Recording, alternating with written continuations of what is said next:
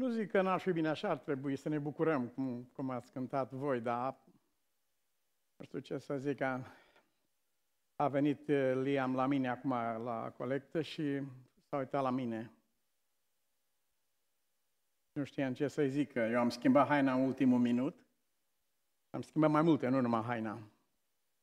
Și atunci Liam n-a întârziat mult, s-a uitat fix în ochii mei și a zis, unde e? N-am avut ce să dă decât un mic hug, deocamdată, dar am făcut un plan. Totuși, Biblia spune, hai să ne bucurăm. Hai să ne bucurăm și în necazurile noastre, pentru că nu ne bucurăm de ceva, ci ne bucurăm de cineva care este cu noi în, aceste, în această situație. Cum este? Oh, pe asta, anul 2024 pe podium. Pe asta trebuia ținută la sfârșit, prin decembrie anul ăsta, deci să vedem, pe podium se urcă după meci, după ce s-au petrecut toate, atunci urcăm pe podium. Dar, da, păi iubiți mai uh, ce va fi pe podium la sfârșitul acestui an, se hotărăște acum și aici, la început de an. Și lucrul acesta este clar în lumina adevărului, în lumina Bibliei. Noi vorbim de trecut, prezent și viitor, dar așa ceva, divizarea aceasta nu există. Nu există prezent care nu are o legătură puternică cu trecutul. N-ai cum să desparți așa ceva. Tu ești astăzi cel care l-ai pus la cale ieri. Și ești în locul în care ai hotărât ieri. Am ajuns asta. Mâine tu ești în locul în care hotărăști asta. Nu se pot despărți acestea două. Ăsta e viitorul, ăsta e trecutul, ăsta e prezentul. El, timpul are această curgere și ar trebui să nu ne um, lăsăm dominați de un singur element în viață, de o singură întâmplare, de un singur incident care să dea culoare la toată viața. Nu, viața nu e făcută dintr-o singură, o carte nu este o singură pagină. Viața nu e făcută dintr-o singură situație, deși poate să fie una de neimaginat. Chiar la sfârșit, acum vreau să-mi cer scuze, nu o să pot să stau la ușă să dau mâna cu nimeni, trebuie să plec imediat, uh, mă urcă mașină. Uh, a decedat fica unui coleg pastor de 5 ani, fetița. A luptat greu cu viața, a luptat până la vârsta aceasta eroic acest uh, copil și Uite, omul ăsta începe anul acesta, începe cu așa ceva. Mergem la college de el și acolo Acolo va fi funeralul la ora 3 astăzi. Și ce fel de început ar fi acesta? Noi spunem că ziua bună se vede de dimineață, zicem noi. Nu. Biblia spune se vede de seara. Uite, când vezi cerul roșu, spui mâine va fi așa. Adică aceasta arată că astăzi, seara aceasta, pregătim dimineața următoare. Acesta este momentul. Cuvântul Scripturii care a fost citit de William. Aș vrea să-l recitesc, dar vreau să mă întreb și să ne întrebăm cu toții despre ce anume vorbești. Să ascultăm mai. Încununezi anul cu bunătățile tale. Încununare, cununa se dă la sfârșit. Nu? Uh, am sfârșit alergarea și de acum așteaptă cununa. Încununezi anul cu bunătățile tale. La ce bunătăți se referă întâi și întâi, absolut întâi și întâi, obligatoriu, eliminatoriu, total? La care bunătăți se referă Dumnezeu întâi și întâi și întâi? Tu încununezi anul cu bunătăți. Foarte bine. Pe noi nu ne prea impresionează că nouă ni se dărâmă frigiderele din cauza bunătăților și nu știu, altă lume poate în alte părți. Dar, dar vă întreb din nou, când spune cuvântul lui Dumnezeu aici, încununezi anul cu bunătățile tale, care este cel din tâi lucru, pentru că Mântuitorul spune căutați mai întâi un anume lucru, e o ordine în căutare, mai întâi lucrul acesta și mai apoi există în matematică, ordinea operațiilor, există în chimie, tot felul de proceduri în reacție pe care trebuie să le urmezi în secvențe, nu? Aici, tu încununezi anul cu bunătățile tale, care este elementul primordial Prezența lui Dumnezeu aduce în viața noastră ce scrie în textul acesta.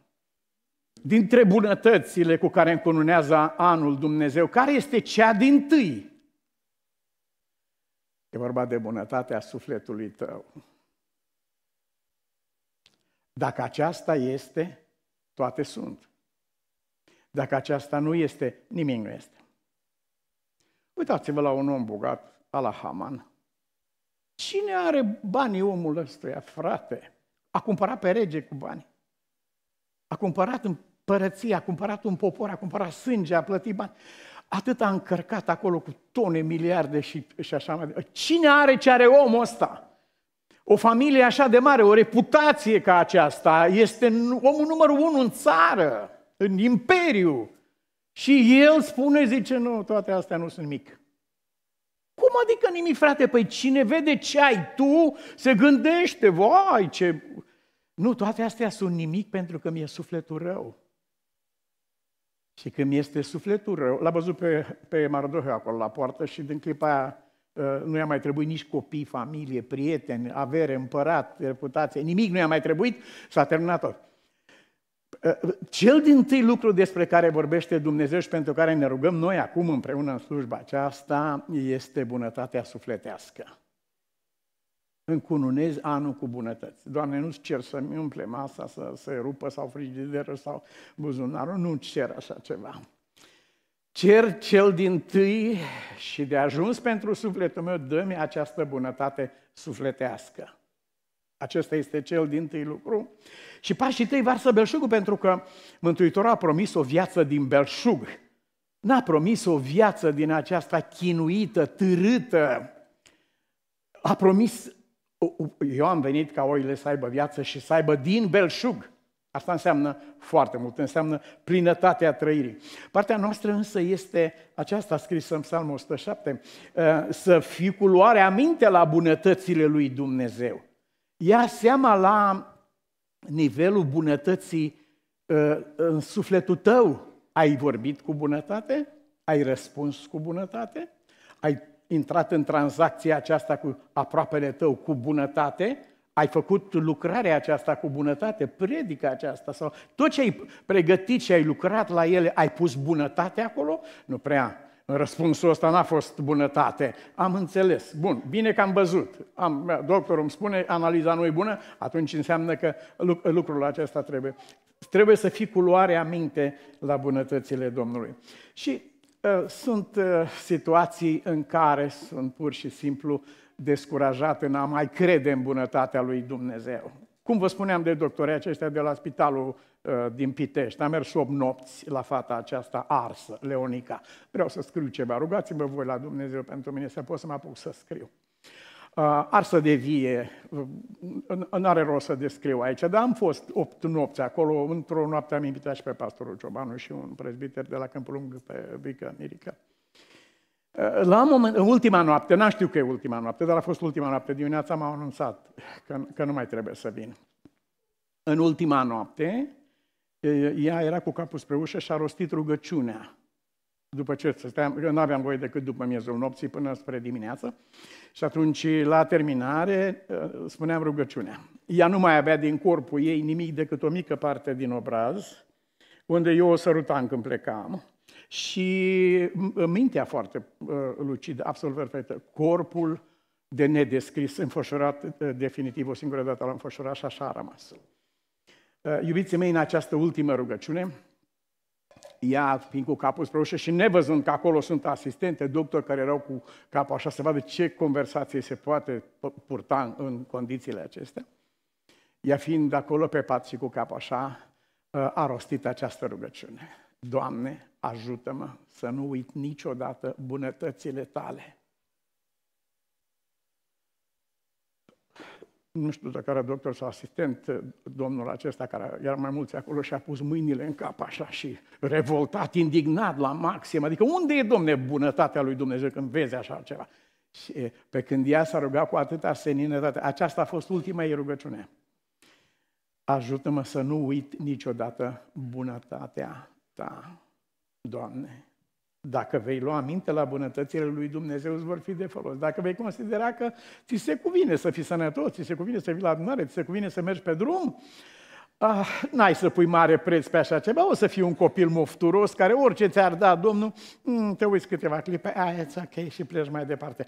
Dacă, dacă iei seama la bunătatea lui Dumnezeu și dacă începi să vezi mâncarea de pe masă cu gândul celui flămând, uh, aș vrea să vă spun că știu ce înseamnă lucrul ăsta. 90 de zile am fost înfometat. Și știu când am, o bucată de pâine este ceva divin. Nu mai este ceva material, nu mai e pâine, făină cu pâine. Și, și câinele o înghite și nu, nu acordă atenție. Dar după ce treci printr-un timp ca ăsta, Așadar, să cerem de la Dumnezeu să privim anul acesta bunătatea lui Dumnezeu, mâncarea de pe masă, cu mintea acelui care este flămând și dorește fără miturile care ar cădea de aici, ar fi extraordinare. Aveam un om acolo la închisoare uh, care aduna fărămituri pentru mine. Toată săptămâna, când cădea de la oamenii care mâncau, le cădea câte o fărămitură jos și el cerea voie, poți să îmi dai mie voie să iau asta? Și îl lăsau toți și el aduna o batistă de fărămituri și când ne scotea la plimbare, îmi dădea batista aceasta mie. Nu mânca el, aduna fărămiturile. Dar să privim masa noastră nu cu gândul îmbuibatului și ah, hămesit și ne, ah, mai, ci cu acelui flămând pentru care aceste lucruri. Să privim uh, puținii sau ce, ce avem în buzunar cu gândul săracului care se bucură de orice centimă. Să privim lucrul acesta. Pentru că el atunci are valoare în ochii noștri. Abia atunci putem să înțelegem. Să privim sănătatea cu gândul celui bolnav care nu mai vrea lumea, nu mai vrea bani, nu mai vrea putere, avere, nimic, nu mai trebuie decât un singur lucru, vrea sănătate și atât. Să privim lucrul acesta nu ca și când așa este, așa se întâmplă, să, priv... să ne așezăm în minte acestui om și să încercăm să înțelegem. Este într-adevăr o, o perspectivă care pune la încercare sufletul nostru, care însă nu trebuie să-și ceară. Viața este o luptă este, fără discuție. Este o luptă sub toate aspectele. Corpul luptă să funcționeze, că dacă n-ar lupta împotriva elementelor, ar sucumba. Când ești în apă, în noți contra apei, adică lupți ca să rămâi. Nu poți să, să faci lucrul acesta. În lupta aceasta, însă, noi nu luptăm ca niște deznădăjduiți, ca niște speriați, ca niște, uh, aoleu, hăituiți dintr-o parte într-alta, hăituiți de propriile noastre. Nu, nu, nu, nu, nu ci gândim și trăim uh, cu prezența lui Dumnezeu în mintea și în sufletul nostru.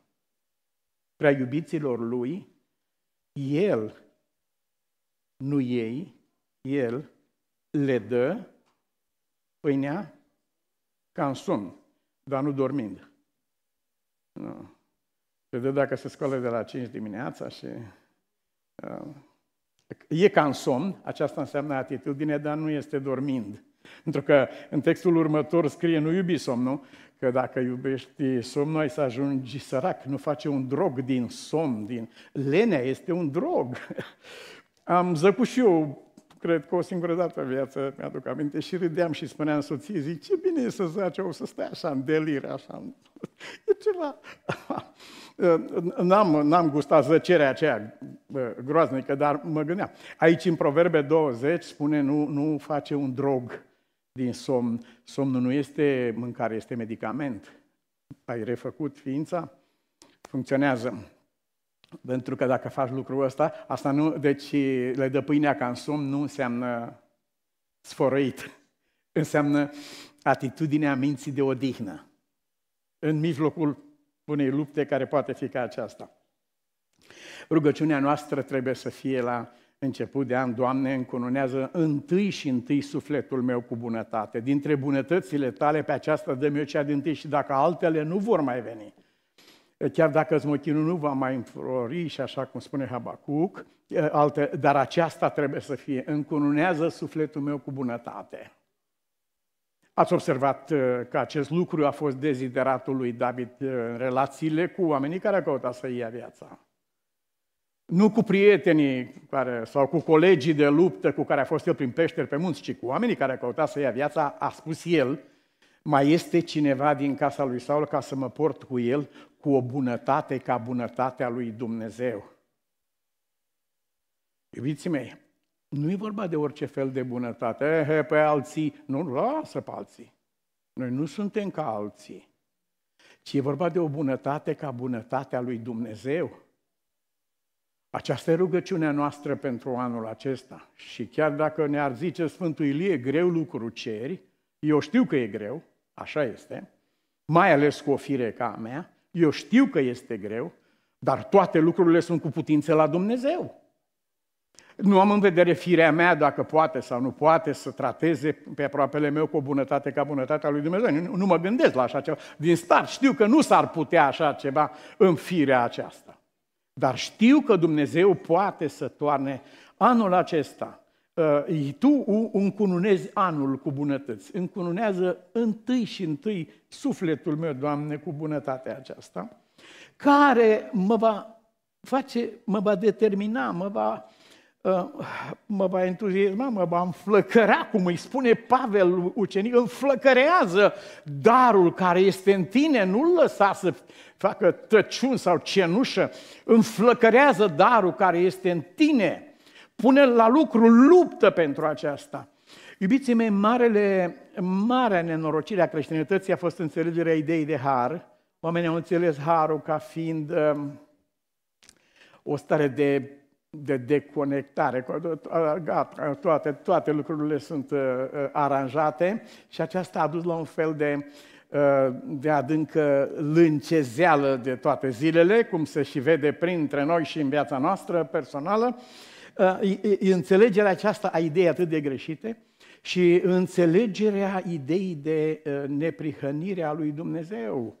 Oh, păi ne este dată, suntem uh, acoperiți, suntem garantați, avem, uh, ai lovit mașina, era o grămadă de uh, oameni care au loviseră mașinile, nu știu câte mașini erau într-o coliziune pe freeway uh, mai de câtva timp și râdeau toți. Deci aveau insurență, nu aveau probleme, era de râs. Uh, în credință nu este așa. Noi nu avem insurență. Uh, ci în, în viața noastră este pilda Domnului nostru Isus Hristos, aceasta e măsura lucrurilor, însoțită de puterea pe care El o dă. Mântuitorul nu a mântuit lumea la telecomandă. Nu. El a mântuit lumea cu sudoare, cu sudoare de sânge, cu rugăciuni, cu strigăte mari, cum scrie în epistola către evrei acolo, știi?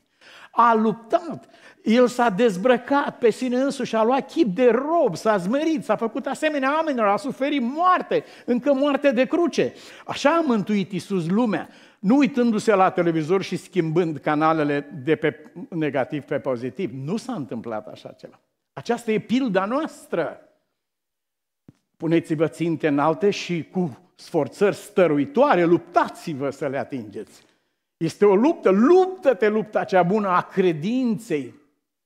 Te uiți la un om și uh, îi admiri talentul, cântă cu vioara aici sau uh, cântă cântarea de cor, te uiți lung, ascultăm o cântare de cor, vai ce frumoasă a fost cântarea pe care am cântat-o. Eu chiar vreau să mulțumesc pentru tema cântării acesteia care a fost cântată. Însă, iubiții mei, ce este în spatele acestei cântări? Sunt repetiții, e muncă, e o viață întreagă de uh, antrenament, de pian, de gândire, de toate lucrurile acestea și avem produsul final. Te uiți la un om care a strâns ceva pe pământul acesta material. Wow, ce înstărit sau ce bogat este acesta! Știi ce este dincolo de treaba aceasta? Trezit de la ora 4 dimineața, grijă necurmată când tu erai la soare și așa mai departe. Deci nu este nimic care pică de la sine în mod magic. Dumnezeu nu lucrează cu magicul. Totdeauna El lucrează cu adevărul. Și dincolo de orice te uiți la un caracter frumos. Și zici, Domne, sunt uimit. Uite-te la omul ăsta. Dar știți ce scrie Biblia? Da, așa este, zice Pavel. Așa este dar mă port aspru cu trupul meu. Nu știi ce este în spatele la chestia asta. Mă port aspru cu trupul meu. Îl țin în stăpânire. Uite ce, ce corp frumos are cineva, ce sănătate are cineva, uite ce performanțe sportive. O, oh, oh. Păi știi cum s-a ajuns acolo? Zice, ei se supun la tot felul de înfrânări pentru lucrul acesta. Nu este tot una, nu ajungi la aceeași destinație așteptând ca lucrurile să se întâmple sau făcând să se întâmple acele lucruri. Noi nu, suntem, noi nu trăim prin întâmplări. Astfel că anul acesta bunătățile lui Dumnezeu sunt gata să se reverse, dar nu se va întâmpla acest lucru fără cooperarea noastră adâncă, devotată din adâncul sufletului nostru. E adevărat, vorbeam azi dimineața cu frații aici, că trebuie să avem o atitudine pozitivă și avem cu ajutorul lui Dumnezeu. Dar aceasta poate să devină un drog în momentul în care am trecut peste voința lui Dumnezeu într-o privință oarecare și totuși aștept Adică uh, mergi cu mașina către, uh, spre nord, dar undeva ai ieșit la un exit și ai luat-o spre sud, dar cum am făcut noi, ne-am întors înapoi, ne-am pomenit seara înapoi de unde venisem. Uh, faci lucrul acesta și aștepți să ajungi la altă destinație. Nu ajungi. Nu, nu ajungi. Și te rog la Dumnezeu, ajută-mă, Doamne, să ajung. Păi te ajut, dar trebuie să ieși afară din freeway și trebuie să o iei spre nord, înapoi.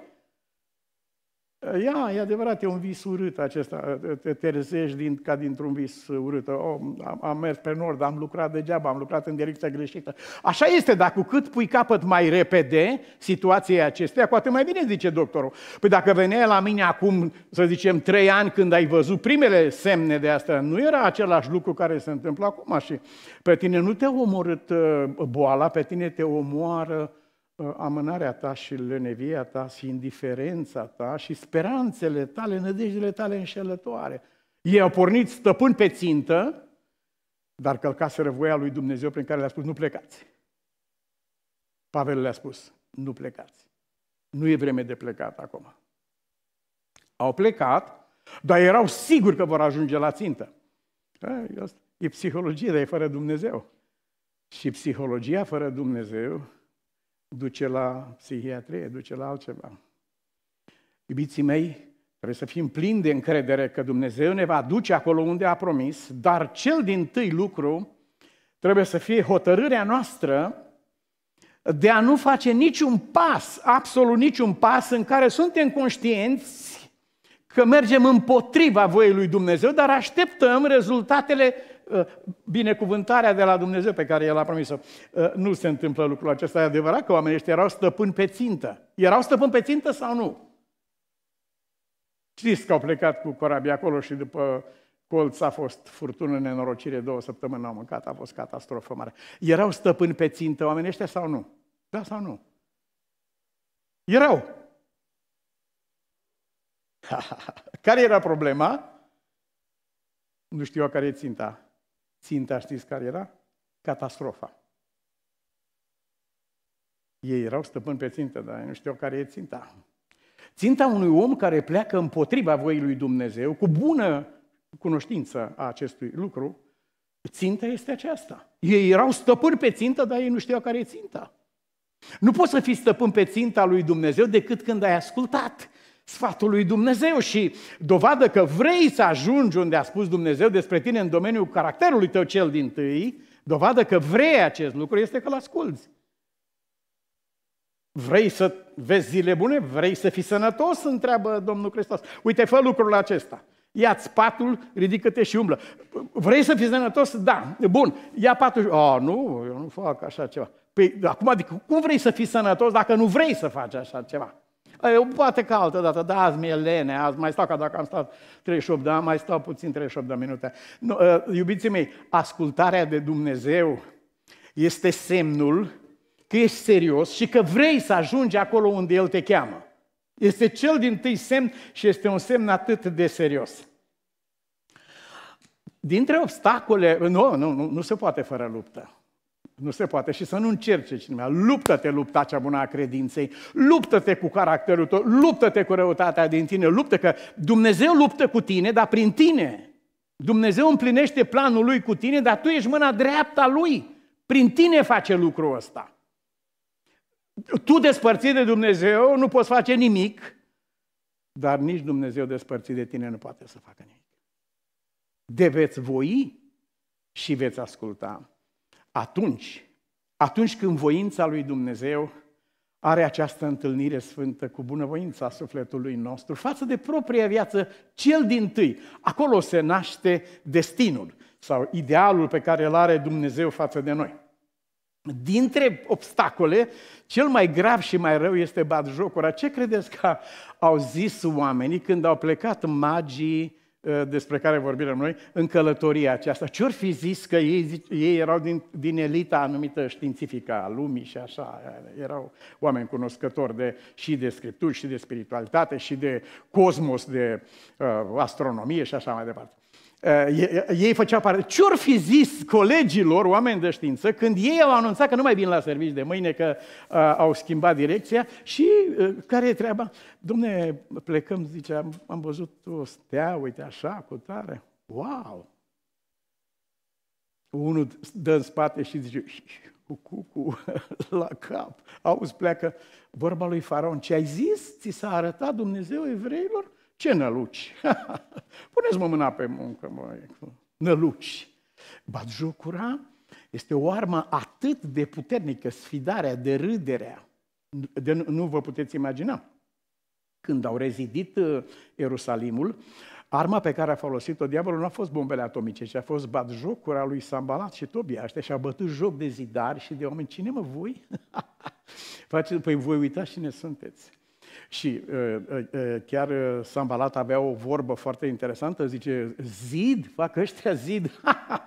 Dacă o vulpe se urcă pe zidul ăla, hop, cu zid cu tot, cu pietre cu tot, și oamenii munceau, chinuiți, transpirați, că erau pietre, că erau mortari, că erau luptau cu, într-o parte cu sabia, într-o parte cu mistria și ei continuau să-și bată joc de ei.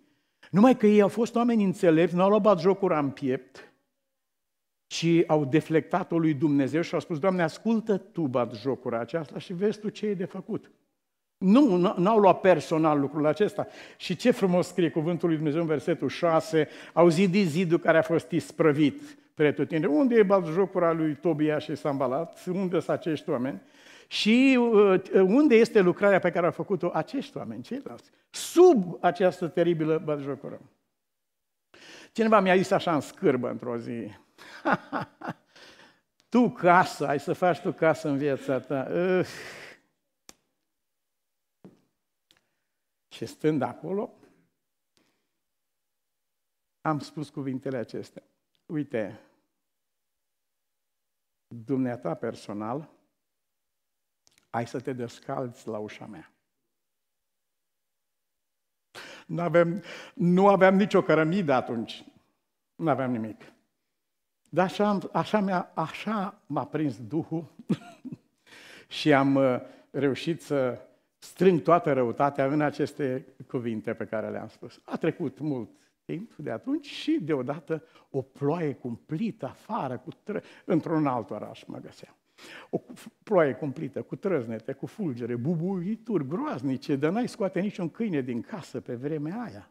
E duminică seara, și deodată aud pe la 1, 2 noaptea, clink, clink în ușă la noi. Ha! Repede sar ca ars, cine mă poate? Doamne, la 1 și ceva noapte e vreo primă, vreo nenorocire. Deschid repede ușa. O, oh, oh, cine era la ușă la noi? Ciuciulete, curgea apa în condiții groaznice. Era cineva care a crezut că niciodată nu o să am casă în viața mea. Oh, veniți încoace. Uite, ăștia de la nuntă au plecat și ne-au uitat aici pe noi și unde să ne ducem, ne-am gândit. Au stat în ploaie, dar au rupt pământul, după până la urmă au fost înfrânți, n-au avut ce să facă și a trebuit să vină tocmai la cine n-ar fi vrut ei să, să vină până la moarte, dar a trebuit să vină acolo. Și frumos, că poftiți în casă, poftiți în casă. Și am zis, ce mă bucur că ați venit la noi. Și persoana a făcut câțiva pași în casă. U, am intrat încălțată. să întoarce înapoi și scoate frumos. Iar eu stăteam și mă gândeam, să știi că așa a fost. Iubiții mei, nu vă speriați de bat jocura nimănui. Dacă între noi cei prezenți aici ar cântări Dumnezeu, nu omul, volumul de batjocuri pe care l-am înghițit în viața noastră, vă spun că eu aș fi campion. M-am soțit lucrul acesta de la vârsta de 17 ani, de când am venit la credință. Am îmbrăcat atâtea forme și am știut că e același obiectiv întotdeauna, să-mi descurajeze sufletul în umblarea mea cu Dumnezeu și în slujba aceasta. Mulțumesc lui Dumnezeu că mi-a dat un pic de minte și m-a ajutat întotdeauna să îndrept spre El aceste lucruri. Doamne, ascult vorba lui Neemie, ascultă Tu ce zic uh, oamenii ăștia, ce vorbesc cu oamenii aceștia. Nu de puține ori vom suferi atacul direct și descurajator. Descur- după baljocul vine descurajarea. Nu, nu, nu, nu faceți. Păi tu te-ai găsit să faci treaba asta. Păi tu nu-ți dai seama despre ce este vorba. Cineva ne vizitează când începusem să construim casa de la Loma Linda și făcusem decât șanțurile și mi-a s-a uitat la șanțuri și a zis, băi, băi frate Butoi, dar tu ai, ai tu bani mă să faci casa asta? Și i-am spus, Traiane, zic, pentru șanțuri am toți banii. De la șanțuri încolo nu mai am, dar pentru șanțuri, vând sap eu, am toți banii. Și s-a terminat până la urmă cu ajutorul lui Dumnezeu. Nu, nu cedați descurajării, nu cedați niciodată frământărilor personale, că dintre cei care descurajează sufletul tău, cel mai rău ești tu însuți. Tu ești omul care, care te, te lovești singur, te străpungi singur cu descurajarea aceasta tu vrei să capeți curaj și totul te lovești, nu, că nu se poate, că se vede ce. Este în lăuntru nostru, apoi discutăm cu cel din afara noastră. Nu, nu contează lucrul acesta. Ia, s-ar putea să fiu, cum a zis părintele la Washington DC anul trecut, părintele Bisericii Ortodoxe, după ce a ascultat programul nostru de Christmas, a zis, zice, nu mai zic nimic acum, că Zice, e clar că voi sunteți magii de la universitate și noi suntem păstori, a zis dânsul, comparând cântările uh, care le-au cântat dumnealor cu cele care au fost cântate. De voi sunteți magii și noi păstori. Și i-am spus, uh, părinte, indiferent dacă ei, ei au fost magi sau păstori, au văzut același prunc. Acesta este punctul cel mai important al tuturor lucrurilor. Și, iubiții mei, vreau să aduc înaintea noastră uh, un cuvânt adevărat spus într-o împrejurare extrem de grea, care este pătruns deopotrivă de responsabilitate și de mare încredere în Dumnezeu. Este vorba de uh, cuvântarea lui Winston Churchill, care, pe care a ținut-o în 13 mai 1940, el la un an după ce regimul nazist din Germania dezlănțuise catastrofa aceasta, care se dorea a fi o catastrofă planetară acest lucru l-a văzut Churchill, a spus, dacă noi cădem, uh, întreaga planetă a căzut, nu mai are cine să se opună acestor oameni. Suntem ultimii oameni care putem să stăm împotriva la așa ceva. Dacă, dacă noi am, am căzut, uh, din momentul acesta pământul întreg va fi expus și nu va fi chip de scăpare. Nu știu cât de uh, realistă era această prezumție a lui, dar în aceste condiții el a ținut această, cânta, această cuvântare în fața Parlamentului. Și a spus așa, înaintea noastră se găsește o grozăvie de cel mai grav nivel. Niciodată nu a fost uh, atât, uh, în fața noastră se întind multe, multe luni de luptă și de suferință. Uh, mă veți întreba, spunea Churchill, care este policy-ul nostru, pe ce căi vom merge? Uh, nu pot să, uh, pot să vă spun atât. Vom lupta, vom lupta războiul pe mare, pe pământ și în aer cu toată puterea noastră și cu toată tăria pe care ne-o va da Dumnezeu. Aceasta a spus el. Vom lupta împotriva monstruozității tiranice, uh, niciodată n-a fost în, care n-a fost niciodată depășită în întunecimea ei în catalogul crimelor umane. Aceasta este conduita noastră. Poate mă întrebați, a spus el, bine, dar care este ținta noastră, care este obiectivul nostru acum? Pot să vă răspund într-un singur cuvânt, a spus Churchill. Este victorie, biruință. Victorie cu orice preț, victorie în ciuda terorii, biruință, indiferent cât de lung și de greu ar fi drumul, căci fără victorie nu există supraviețuire, a spus el. Nu am nimic altceva să vă ofer decât sânge, trudă, lacrimi și sudoare. Dar nu aceasta era oferta. Oferta era victoria de care a vorbit, aceasta era calea pe care urma să se ajungă acolo. Și s-a ajuns. Având în vedere lucrul acesta, să mergem în Evrei, capitolul 13. Și aici să vedem o descriere a Mântuitorului privit de la distanță. El este acela care în zilele vieții lui pământești a înălțat rugăciuni cu strigăte mari către acela care putea să-l izbăvească și fiind ascultat din cauza neprihănirii lui, a primit biruința. Aceasta este, Părinte Ceresc, rugăciunea noastră la acest început de an. Încununează anul cu bunătăți, cum ai spus, dar începi, Doamne, cu sufletul nostru. Rămână harul Tău asupra adunării noastre iubite, asupra familiilor noastre, asupra lucrării și numelui Tău sfânt și asupra tuturor care se hrănesc din pâinea vieții prin slujirea copiilor Tăi din locul acesta. Fii binecuvântat în veci. Amin.